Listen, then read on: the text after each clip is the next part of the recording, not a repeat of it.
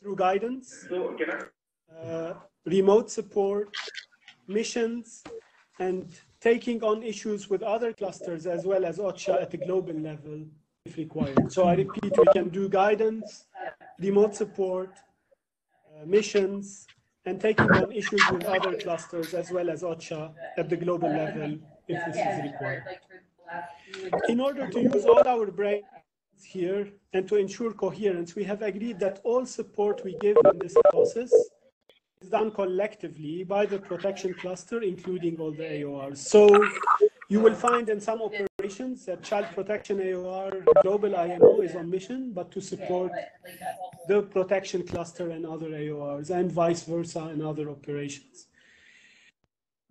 Now, on the substance of the matter regarding the HNO, I have four uh, key messages to you before I hand over to, to Dream. First, we're surprised to see the OCHA guidance uh, sent 10 days ago or two weeks ago. Uh, however, we are supportive of the overall OCHA direction, but this guidance went out without consultations with us, and we had to react to it. So we've taken two tracks. Uh, first, we have uh, worked with OCHA and other clusters to rectify the note that they have sent. And I would like to announce that we are in the process of revising it and it will be resent. That was our first track. The second track is we didn't want to leave the confusion lingering until OCHA note is resent. So we have developed our own note that we sent to you last week. We guarantee that the OCHA note will be, that will be resent next week, will be in line with the note that we have sent uh, previous week and we're presenting today. So for the protection cluster, the note that we have sent uh, last week is final for this year.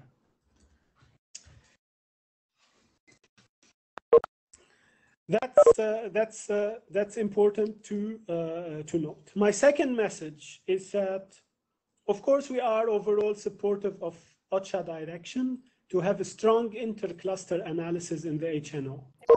We actually see this as beneficial for the, from a protection perspective because it can allow to have protection more at the center of the analysis through four parts of the HNO. One, through the summary of the humanitarian needs chapter, two, through the crisis impact and a human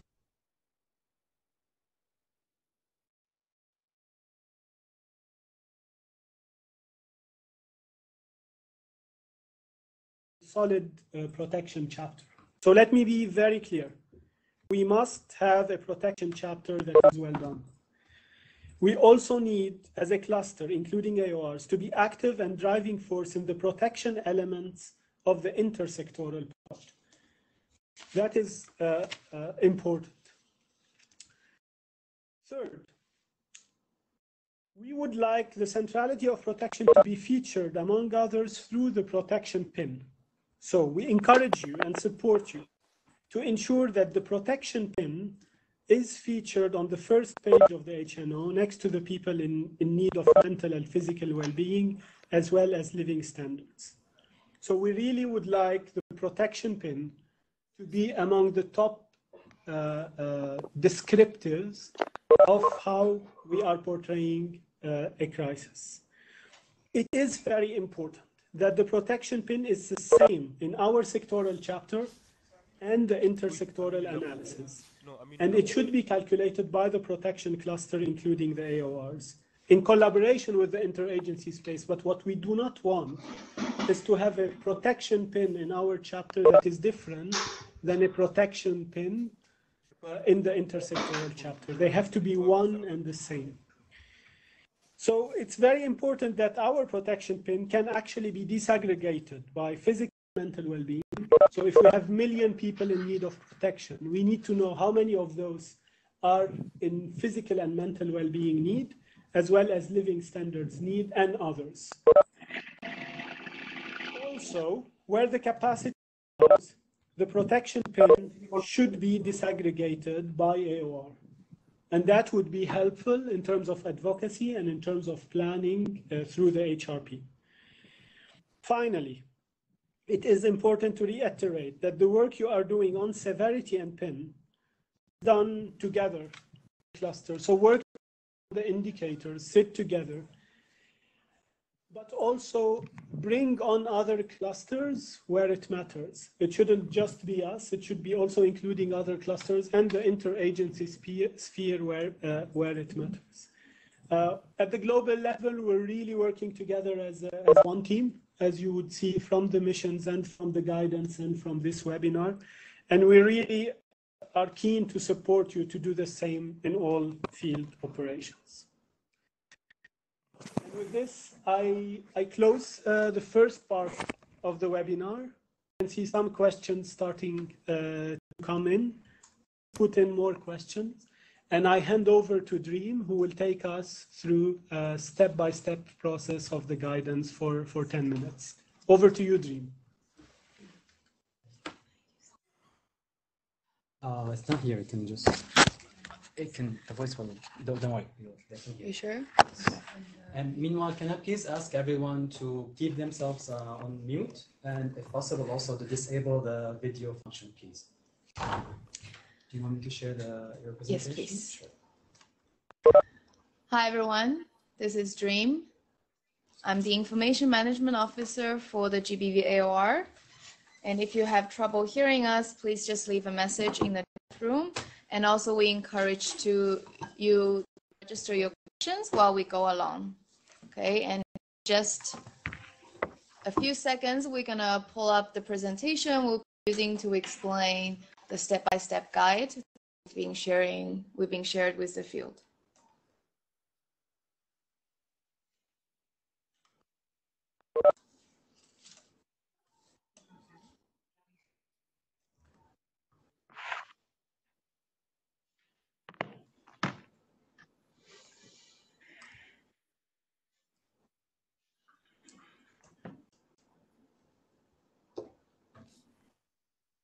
Can anyone see?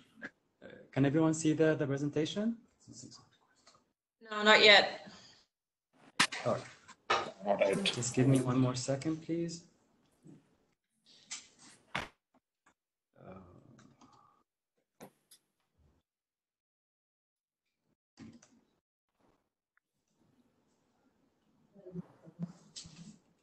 It's working. All right. Okay, great. Can you do the presentation? Mm-hmm. Mm-hmm. So again, everyone for joining us in this webinar. So in the next 10 minutes, to take all of us through the step-by-step -step on how we propose uh, to estimate the protection people in need, as well as AOR people in need, in the framework of a severity analysis. And I'd like to open the session by giving an overview of the data environment. So I'd like to say there is no single guidance that can be pasted into all operations. We're all different in our nature, our magnitude of the problem, and as well as in data environment. Some of you can have quite rich data environment. You have a lot of assessment, and census data available. Some of you could have none. So bearing in mind that everything will be introduced here will still needs to be tailored and textualized in your own context. So what do we mean by data poor and data rich environment? I'd like to give us a few examples.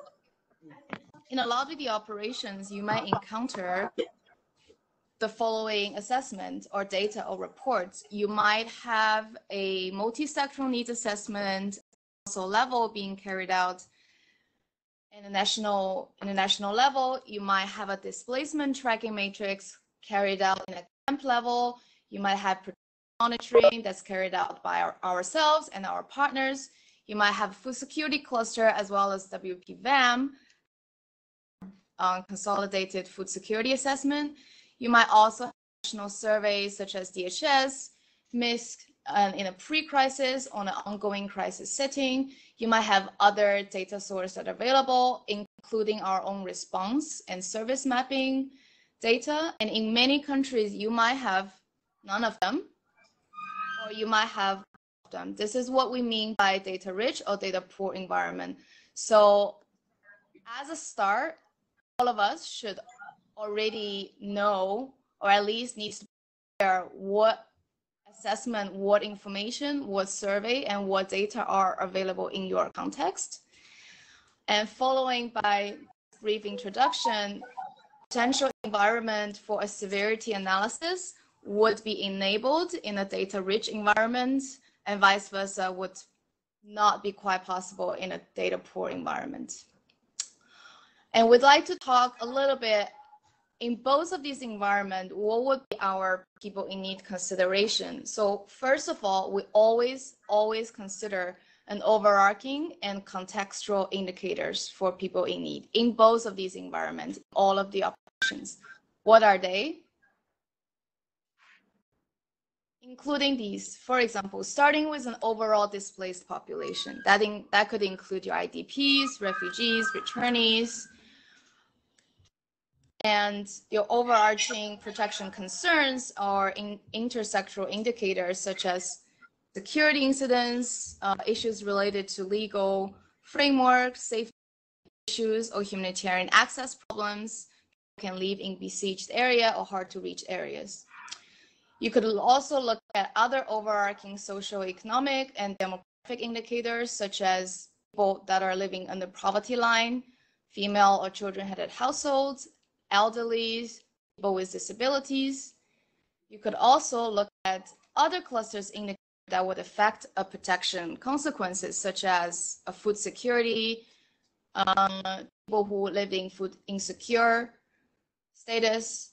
And you could also look at your existing analysis of current response and service activity and gaps uh, per location, such as number of children or percent of children with access to the PSS programs, mine contaminated areas, presence of civil registration, and also you could look at the contingency plans based on the anticipated actions.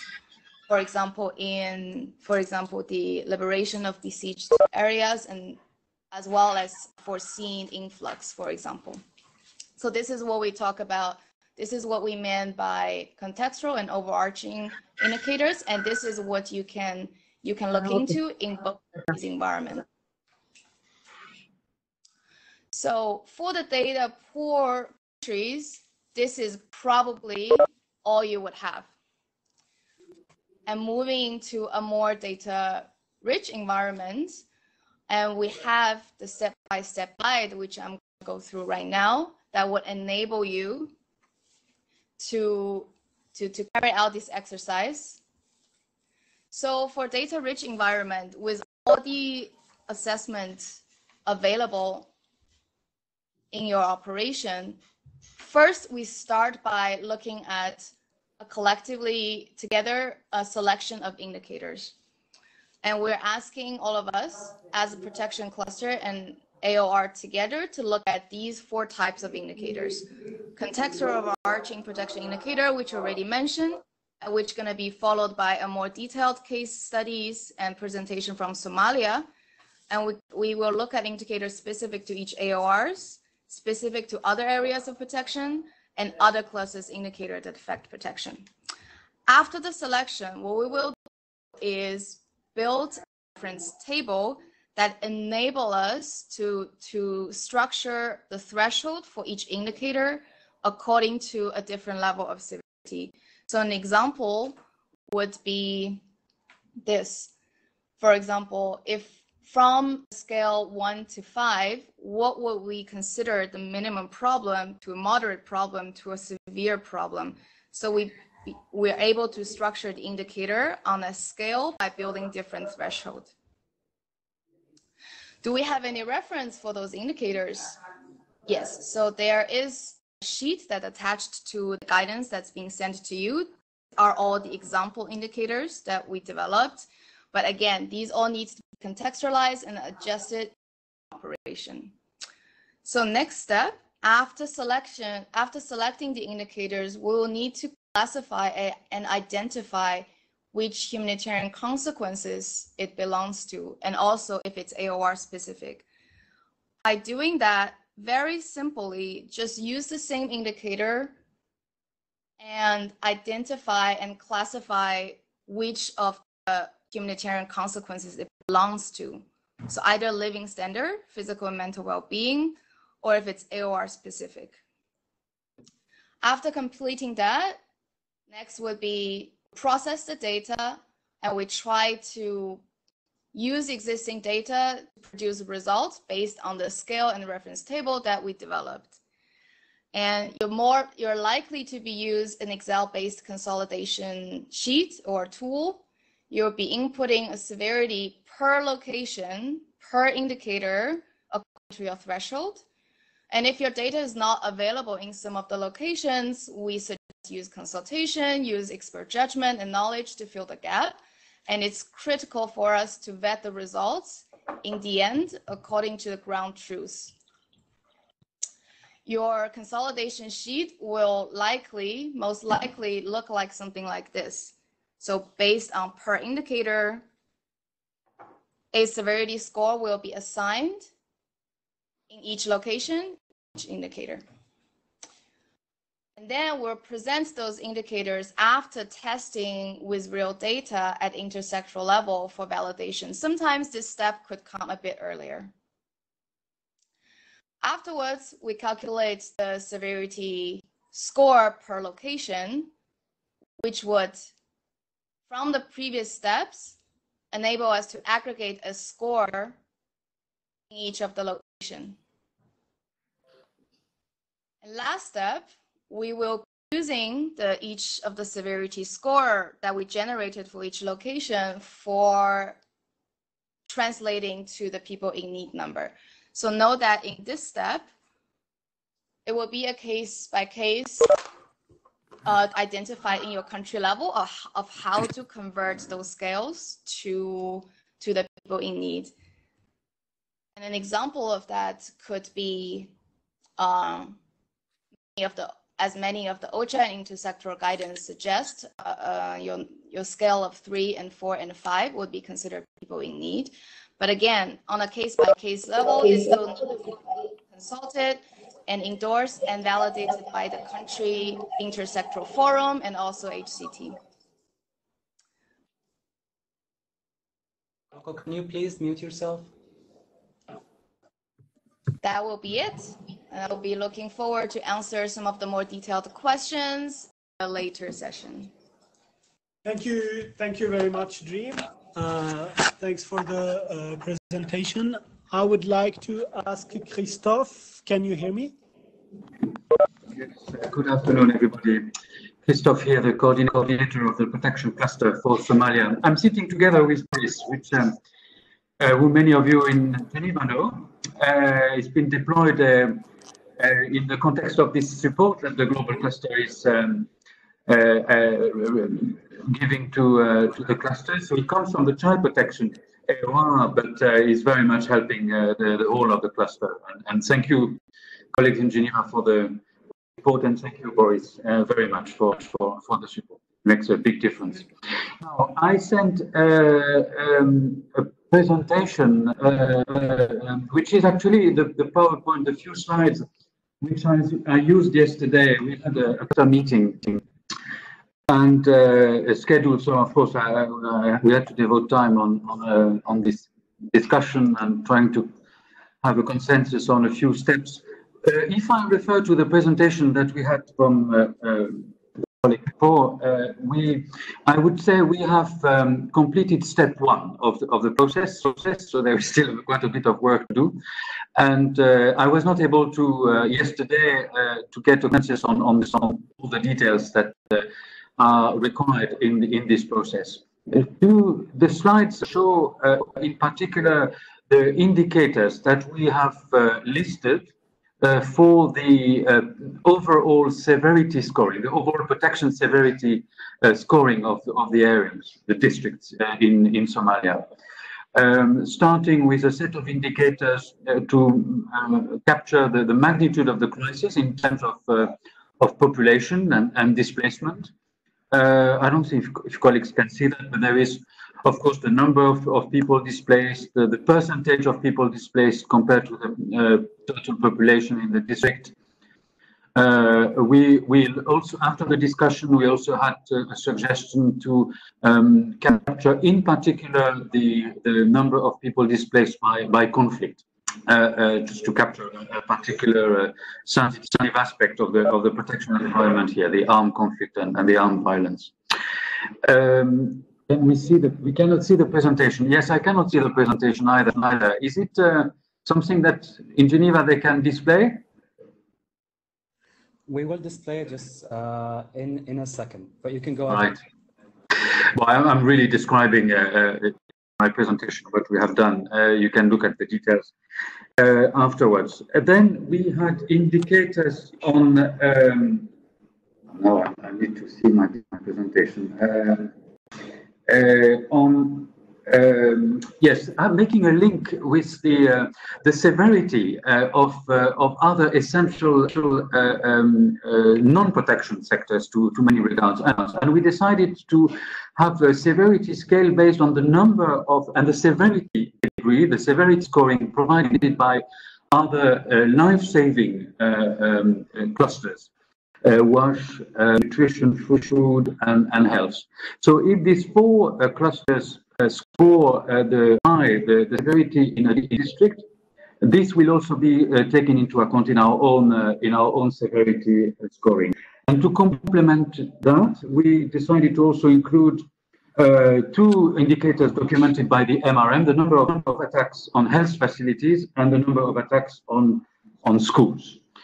Uh, the, uh, then there is a, a, third uh, group of indicators measuring various things. Of course, we'll have to refer to access. Uh, and this we're going to, to rely on, on the, the scoring that OCHA will be uh, providing. But we keep the right, yes, thank you. I'm uh, on slide four already um, in my presentation. So that's the last group of indicators. I'm talking for the overall protection, uh, and, and there is there is many more indicators that the AORs are, are currently currently uh, using for their own scoring. So uh, I was mentioning the humanitarian access uh, uh, scoring, uh, which will be provided by OCHA, but we, which we will look critically. The, the access can be different for food security colleagues and, and for us. Um, so we'll we'll take the scoring as a starting point, but we may adapt it to our own and all capacities. Conflict intensity areas are very important thing as well to uh, to capture. As I said, we are going to use the the number of displaced uh, uh, by uh, by conflict, but we're also going to look at uh, two other sources uh, which may help us to score there. INSO, the the NGO um, monitoring access for NGOs we're going to approach them to get to get their data. And another source we want to explore is uh, ACLED, uh, which many of you know. Apparently, they, they monitor uh, conflict, uh, armed conflict in, in countries, and I understand based on public sources. So we want to uh, to see what it, uh, it produces for us and, and make a scoring accordingly. Uh, the third indicator listed here is about presence of um, of uh, explosive hazards, as we say in, here in Somalia. So UXOs and explosive remnants of war. And we had discussion this morning. Uh, uh Boris had a discussion discussion this morning with the UNMAS colleagues to fine tune this. Um, then child recruitment. Uh, and uh, last is about eviction, which, which, is quite a critical protection uh, problem here, uh, mostly, mostly, in urban areas. We will probably have a, a, scoring based both on evictions, which we have, have recorded probably in the last 12 months, and, and the risk of evictions. A number of uh, mapping uh, of, of risk evictions, of eviction risks, pardon, has been, have been conducted in, in the country. So uh, the, the, eviction risk will also be part of this uh, of this indicator. Uh, this is uh, this is the first step. The next slide is um, the last slide is was to explain to the to the members uh, how this scoring will be used afterwards and combined with uh, um, results coming from the, the, the MCNA. REACH, the NGO REACH, has conducted an intercluster uh, household survey across the country with, with interesting results, uh, which has its limitations, but um, we want to see uh, what it says. Uh, and we have asked uh, REACH to calculate for us um, percentages of vulnerable people uh, by district, uh, by level of severity, and both for hosts and IDPs. So for that, we have produced, I haven't, uh, it's not on the slide, it's a sophisticated matrix finding all the, all the possible indicators that JMCNA can, can document with a scoring uh, uh, scale uh, and which determines the, the level of vulnerability of, of, households. And we want to see what this is going to produce and, and tell us.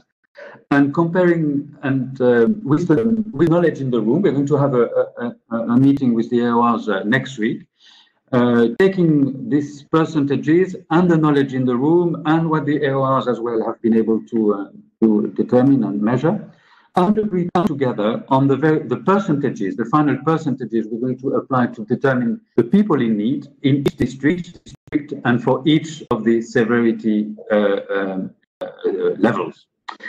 Um, so this is a, a, process which is going to be, uh, which has to be rushed a bit, I must say. We understand the constraints. We have to, uh, with OCHA, give the PIN uh, uh on the 5th of September. Uh, so we, the discussion we're having, uh, in particular next week, will take place between the coordinators of the, of basically here, plus the government. the government in Somalia is very interested to, to follow that and, and um, so we're going to have them in the room as well. And I, I told the members of the cluster, I, am going to share with you the, the results. And I, we, will probably, will surely uh, disseminate the results of all of this to the state level coordination for a review at the field level, if I may say. That's it in a nutshell on where we are. Thank you. Thank you very much, uh, Christophe. Uh, uh, and thank you uh, for uh, for taking the time for sharing uh, your uh, your experience. now, I would like to open the floor for interventions, questions, and comments from everyone. So, if you have questions, I see some questions coming in. Please either type them in or put down your name so we call you uh, to uh, to uh, to basically uh, ask your question. So the question, the first question from uh, Darin, uh, question regard, regarding data rich versus data poor environment. I understand that the indicators of data availability uh, but how would you advise us to determine if each context is data rich or data poor? How many of the indicators need to be met for us to consider the data poor or data rich? So that's uh, the first uh, question. Uh, the second question is, uh, I follow the protection severity scale guideline, which makes perfect sense. However, I can't find the difference between the intersectional severity scale and protection severity scale as the process and guideline will be basically the same. What would the, be the key main change and impact of this approach in developing protection severity scale, which will be built on intersectoral humanitarian impact? I see. Uh, so thank you, uh, Darin. I would like to uh, uh to answer uh, both questions. So first, I don't think uh, the point of saying a uh, a country is data rich or data poor is important at this stage. I think what we're trying to convey here is that some countries have solid indicators with good sources of data that need to go through a process, and some countries just do not have uh, uh, these kind of uh, data. Nevertheless, the countries that do not have uh, uh, enough data that can back up indicators need to come up with some kind of uh, expert judgment indicators uh, and process to uh, define uh, the locations that are severe uh, in, in overall protection issues or specific protection issues that are related to AORs or specific to, the, to a context like evictions in the Somalia context. So I don't think you need to classify yourself as data rich or data poor, but to understand that our guidance uh, is quasi impossible to have one guidance for all operations because the data re reality is so different.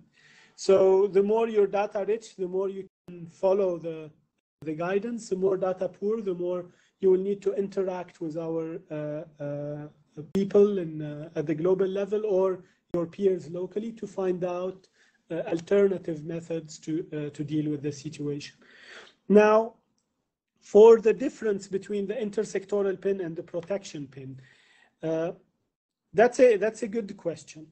I think the uh, the indicators that we agree on in the protection sector uh, for our guidelines could be more than those who are adopted at the intersectoral level uh, to describe protection.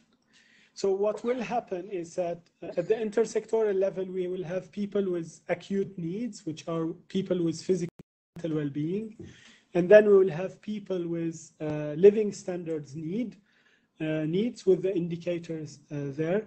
And we'll have people with, with protection needs part of the people with protection needs will be those who have physical mental well-being. Another will be a small a slice of those who have living standards needs. And we have additional protection needs that are related to risk or security or other protection issues uh, there.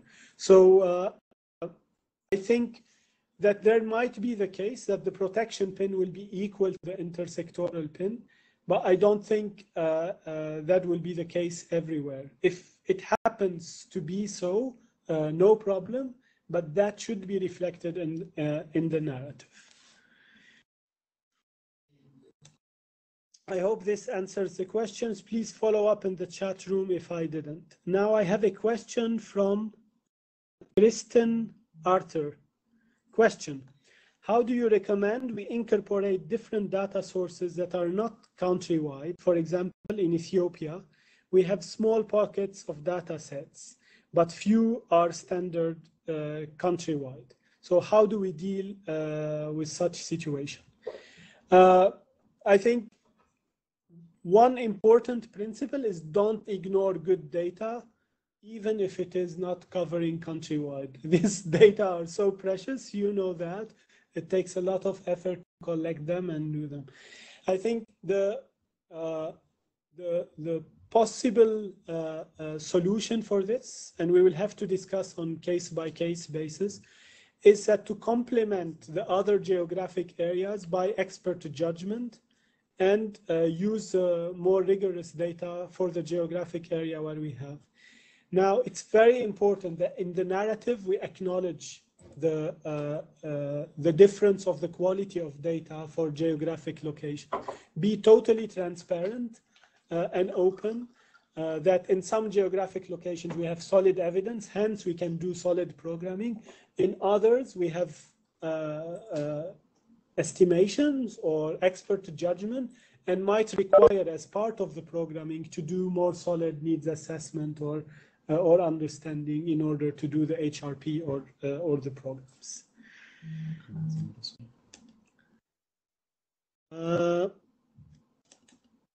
Uh, the guy? So I have a question from Ambika uh, Mukund. Thank you, Ambika. Good to hear from you again. Uh, is the guidance posted anywhere? It was sent in the email, and if you haven't received it, I will make sure after after this webinar to for you to copy.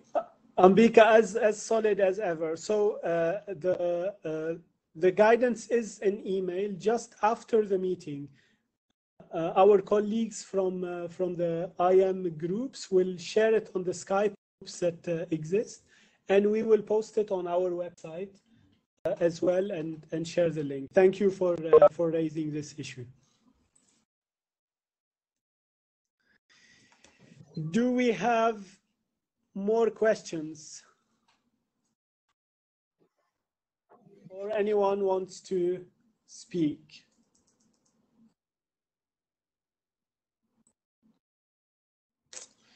Christine, uh, I have a new question from Christine. Is there a funding priority associated with the consequences? Yes. Uh, Kristen, can you take the mic and explain yes, your yes. question? So please, so yes, just enjoy and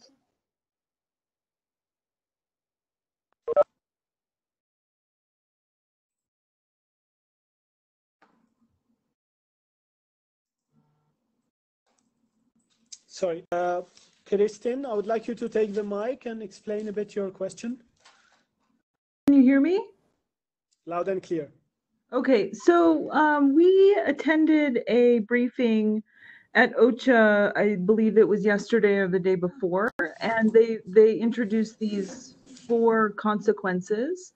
And my impression, and I'm asking in case asking for clarification to ensure I understood this correctly, that the way they explained it was that the first consequence would be prioritized for funding, followed by the second consequence, and then followed by the third consequence and so on. So I'm just checking with you as the global protection cluster if that's also your understanding. Thank you very much, Christine. Uh, thank you so much for asking uh, this question. The answer is categorical, absolutely not. It is very important that we push back on this point, and this is a very strategic point, and would like to follow up uh, with your OCHA colleagues also in the field to link them up with OCHA colleagues at the global level to clarify this. The consequences are of physical and mental well-being, of uh, uh, living standards, as well as uh, resilience and protection. The, these four consequences are equal in importance. It's, in, it's extremely important to clarify that, including in the narrative of the HNO itself. And this is something I'm personally willing to weigh in for where where this where the guidance in the field is not consistent with that. We cannot accept as a protection cluster that uh, risks related to uh, uh, to, for example, uh, living standards that if we do not intervene right away for could become uh, life-saving for us. This is this this is of high priority, of immediate importance and of equal importance to those who have physical and mental well-being issues right now, uh, as well as many of protection issues that are not related to physical mental well-being and living standards and related to risk, such as mine action or uh, gender-based violence uh, issues.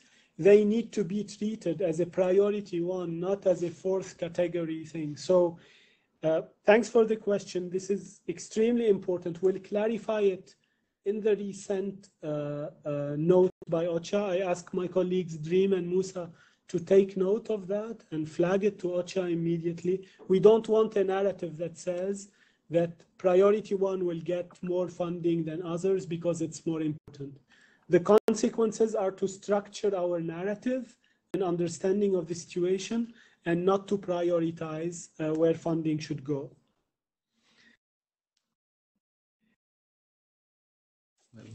We have one question. Okay, can you highlight to me one by one? So starting with, I think you answered no. No, So no, now- I didn't. So I think starting with. Ah, there's also Alex. Okay, I will start with uh, one question with Alexander, then move to a question by Noah, then a question by Jakob, then a question by Toye. So, uh, Alexander, your question is, do we need to calculate PIN for protection or only well-being and living standards? Alexander, we, wa- we want to calculate a PIN for protection for our sector that will be the same one uh, utilized for protection consequence. We don't want two separate pins uh, in the document. So we want the protection cluster, including the AORs, to calculate a protection pin uh, in consultation with OCHA and other sectors. And we would like that pin to be adopted at the protection as the protection consequence pin. What we do not want is to have two different protection pins, one for consequence in the uh, document and one different in the in the sector. So I hope that this is uh, that this is clear. Uh, please follow up in writing uh, if that's not the case, and if OCHA is pushing otherwise in the country operation, we're happy to weigh in and correct that. Uh, Noah, thank you so much for your. Uh, please share a couple of traditionally non-protection indicators that can be used uh, for uh, general protection. Uh, Noah, uh, for your question, I think general protection issues, for example, could be related to a situation of malnutrition in geographic location. That's not a, a, a standard protection indicator, but if malnutrition is very high in a specific uh, geographic location, this is a proxy indicator that the general protection situation is bad and could be used as such. I hope this, uh, this makes sense, Noah. Uh, please uh, follow up in case uh, uh, I didn't answer. Now, Jakob, uh, thanks for your question. I will read it out loud. This is a question specific to the mine action sector. How do you suggest calculation of PIN in cases of contamination in public spaces? For example, a town with 60,000 residents and contamination in public areas in the center of town, how would you calculate uh, the we, Jakob, you continue saying, we previously had the experience that mine action PIN was higher than all other sectors combined. Thank you, uh, uh, thank you, Jakob. Uh, uh I will ask uh, Christelle to add. Uh, to I would say my initial sense is that the protection risk on people living in areas where the public spaces are contaminated makes them at risk of protection issues, and hence they are in need of protection. So they are people in need of protection. Now, this is where you have to go contextual and try to understand uh, the frequency of how many people frequently uh, access these areas, how close these areas are residential areas and how frequently they are used. That would allow you to disaggregate this uh, big number that rightly so would be big uh, to something that is more explainable at a narrative level and shows you, uh, you know, how uh, how many people are in high risk area versus low risk area if the context allows. So my principal answer before handing over to Christelle is, these are people in need of protection. They are at risk of protection issues and they have to be accounted for. If the number is too high, that's a reality. We, our job is not to reduce the numbers, it's to reflect the reality. Now, if a more eloquent or sophisticated analysis of this PIN uh, is possible, for example, to disaggregate uh, how many are in immediate risk, how many are in uh, more circumstantial risk, that would be useful for the analysis and useful for programming later on. I hand over to Christelle. William, that was a perfect answer. You, you should be the MAAOR coordinator because there's not much more I can add. But just to say um, to Jakob and colleagues, uh, I think one of the challenge for us is is the fact that we have, you know, explosive ordnance that are in some places, and then we have people who are moving around. And of course, we don't, we cannot predict where people will move, where they will go. Uh, we know, for instance, if you look at the Nigeria situation, we know that many people are in IDP. They cannot get out of them. So, well, they're protected. But we know that we also want to have, you know, freedom of movement and to be able to return to their villages. And this information and prediction is probably with someone else. Maybe it's a displacement tracking exercise that IOM does, or UNHCR, or other clusters that are looking at the displacement uh, trends and patterns. And we need to work with them to understand okay, you know, what is the likelihood of people coming and crossing to this minefield? Or what is the likelihood of those 60,000 people going, going to those public areas that are contaminated in the town of Libya? Libya. So I don't have a perfect answer for you. Um, and just to add, when we met with OCHA and looked at a key factor for us, which is, you know, how far do you live from a contaminated area? Do you remember I asked this question to OCHA? You know, most of our colleagues say, well, you're at risk and you should be in the PIN if you are within one kilometer of a contaminated area. But others said, no, it could be if you are, you know, OCHA responded 10 kilometer away. Because if you're going to walk those 10 kilometers to access markets or livelihood or your fields or the hospital or the school, you know, it's not just one kilometer that counts. So you got to look at what are the patterns of movement and how people, where do pe people travel in order to go to, to access uh, basic services. So that's uh, um, my answer. Mm -hmm. Thank you uh, so much. So I have questions from Toya, Keith, Murga, Coco, Pauline, and Sasha. Uh, unless you have additional burning questions, I encourage everyone to stop asking questions. So I think uh, we uh, able to answer these uh, six people. If you have further questions, please liaise with us bilaterally and your focal points in the teams uh, after uh, after the webinar. So, uh, I hope uh, I am pronouncing the name. The question is, is coping mechanism also considered as a pillar for indicators? Thank you for this question. We've been struggling with, uh, with the concept there because we had different guidances uh, with OCHA that gives different answers. The simple answer is the following. The minimum pillars are physical mental well-being, living standards, and protection. We would like to that protection as a main pillar. Now, if the if in a country you have the capacity, the data, and the kind of conceptual frame to have coping uh, mechanisms as well as resilience, which is another one. Uh, uh, uh so you have the data to calculate people in need of uh, uh, under these pillars. This is more than welcome. I think the direction for next year is to go in this direction. Uh, for this year, I think we're sticking to the minimum, which is physical, mental well-being and living standards. If in your operation you can go to coping mechanism, please do so. Uh, we encourage you and we're happy to support you uh, on that.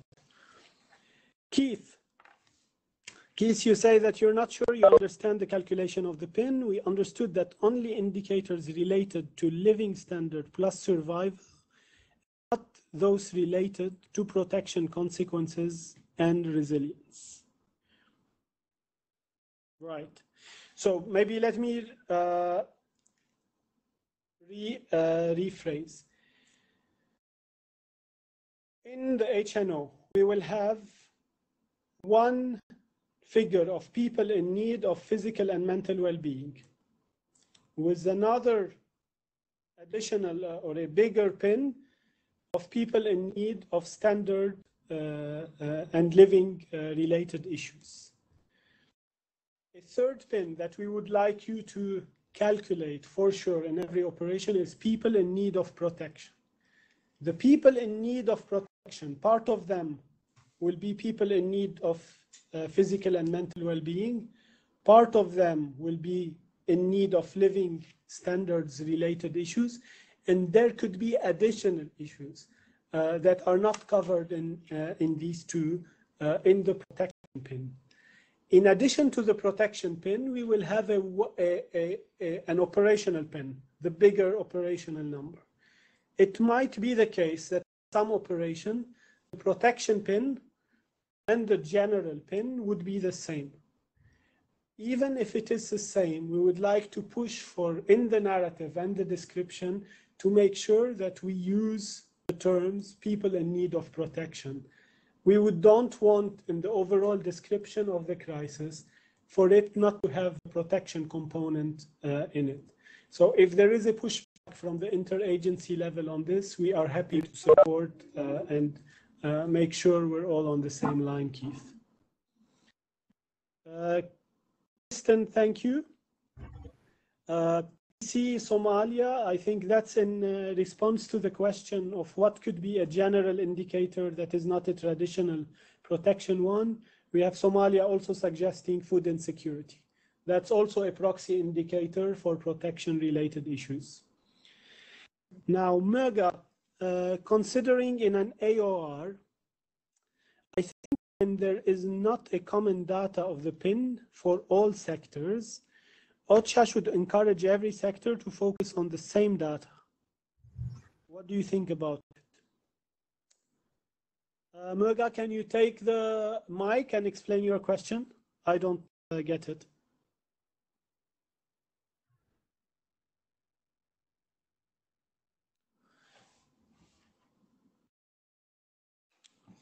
Murga, can you try to take the mic and uh, rephrase your question? Going once, going twice. We'll follow up with you bilaterally.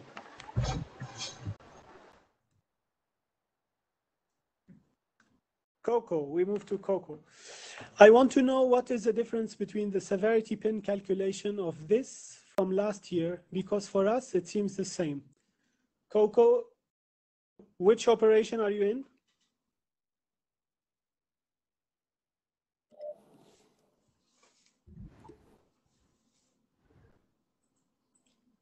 Coco, uh,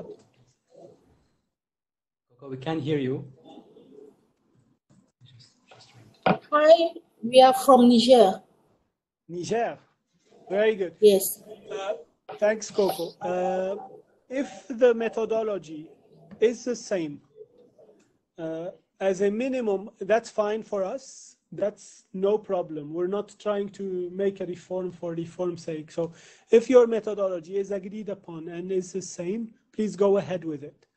What I need you to focus on is to make sure that the protection pin and the protection narrative is featured centrally in the HNO and not only limited to the protection sector. Uh, and the second thing, as I repeated, that the protection sector pin is the same figure that is used at the intersectoral level uh, for protection issues. That's it. If you have these two elements in place, uh, please go ahead and repeat last year's methodology. No problem. Uh, Pauline, isn't there a risk of duplication if you, we use such a wide range of indicator for calculating PIN? Thanks, Pauline. This is an important question. Uh, I think in some uh, uh, operations and some geographic locations where we don't have solid protection data, we have to revert to proxy indicators. And in such situations, uh, uh, indicators like food insecurity and malnutrition could be useful uh, as a proxy for protection. Now, even if the environment is rich in data related to protection, these indicators can still be used, but they're not the only protection indicator. They're one of a composite set of indicators for severity uh, for protection. Uh, what this, the use of such indicator would help us is to increase the collaboration with other clusters uh, and have more an integrated approach for analysis that, that is important. Now I move to the final question. Uh, Sasha, can you kindly share minutes following this meeting? Internet is quite bad and the line keeps cutting. Uh, thank you, Sh Sasha. We, uh, I will share my talking points uh, after the meeting, no problem. Uh, the webinar is actually recorded and can be, you can re-listen to it uh, when, when internet connection is better. If uh, neither works for you, uh, we're still happy to have a bilateral conversation with you uh, to address uh, to address your issues. The link for the video will be shared uh, um, after the. It will need some time until it's uploaded, and then we will share it with you all. Yeah. Thank you, Mulham. Okay, thank you all uh, for your questions. Uh, that was quite interactive, uh, more than what we have imagined. So uh, it shows how uh, topical the issue is. I would like to thank the global team that is here around us that is contributing to this. And big thanks to the IMOs from the AORs and the Global Protection Cluster that are going on mission or are currently on mission. Uh, on behalf of uh, all of us, uh, this work is important and uh, uh, it is uh, quite crucial in a year that is very uh, transitional in nature and the guidance is uh, uh, fluffy uh, in some parts of it that we we keep the dialogue open. This is the only way we can have uh, we remain on the right track and not uh, not have any major issues that have uh, can have repercussions for next years. So thanks a lot uh, everyone uh, for the good work. Thank you for your hard work and keep in touch bilaterally uh, if need be. We are on standby to support you. Have a good evening